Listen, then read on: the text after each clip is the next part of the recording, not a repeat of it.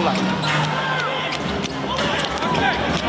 边跑边看，跳到篮底下，阿飞跳在空中，air supply。哇，大家都在注意球的时候，落边的拖车阿飞就跑了进来哦。李威霆有八分进账，包含两颗三分球。不过此外，其他球员倒没有太多的得分意志。哇，最后一排砍进，这个翻身跳投不讲理啊！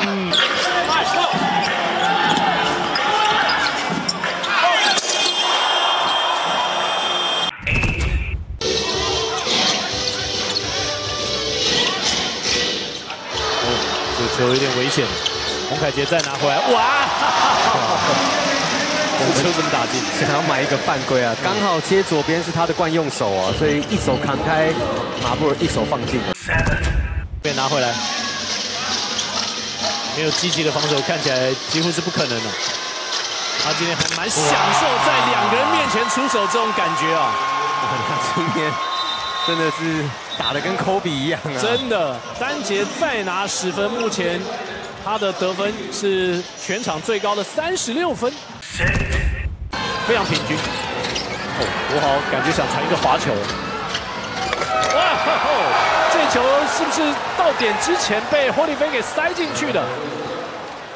哇，这球刚好在篮筐这边塞进去。工程师回稳之后，比赛就这么去了。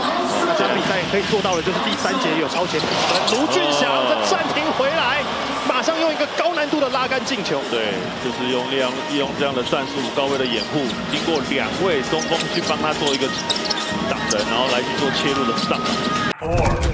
对工程师来说非常非常关键。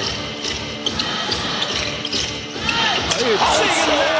直接给弟弟张杰伟的助攻，哇！张杰伟一上来哦，连续超节传球也毫不含糊哦。嗯。这个球有点可惜。哎，赖廷恩再抄到，但是后面有克拉，他看一下，交给佩恩。太精彩了，包括志杰的三分弹哦，还有廷恩的快手，这个球他就是预判的非常的准确哦，打出了蔡文成在赛前说的球风啊。没错，没错。这是勇士的球风。他们赛子的时候，他们也是会比较怕。对。Manigo 第一时间高跳，单手飞扣，成功的空中突击，安妮奎暴扣得分。对，安妮奎的场均助攻数也是有五点八分哦，五点八次，十一助攻了。One，持球，凯杰，阿吉被挡掉，凯杰再交给强森。